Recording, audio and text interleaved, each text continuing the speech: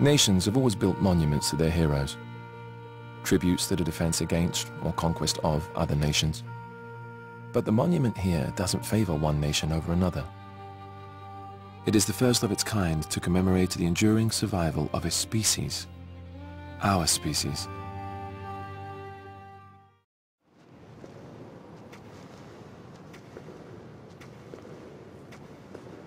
Can you tell us what you remember about the battle?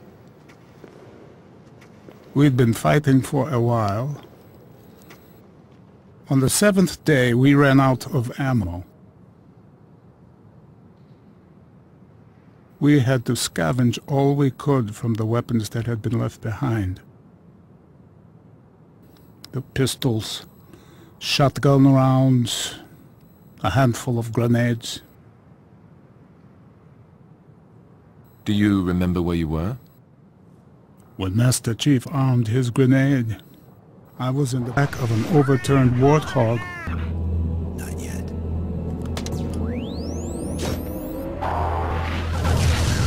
How did you manage to keep it together? We knew Master Chief was still in the fight. He gave us hope.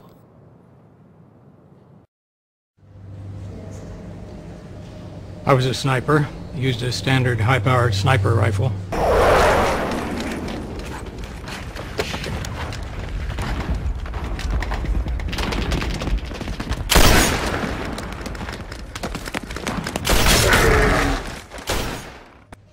At 600 yards, it would go through about 13 feet of flesh and bone.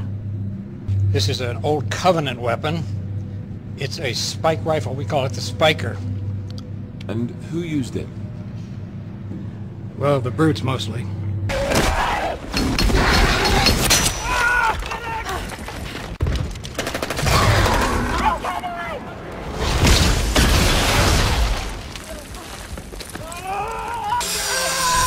Can you show us how it worked?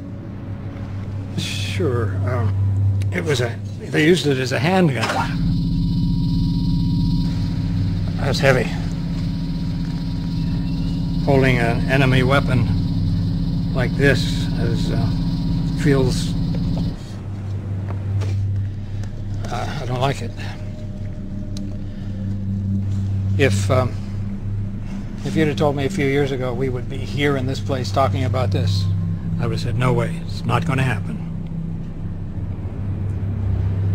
If there's one reason why we're here, um, I would say it's, uh, it's because of the chief.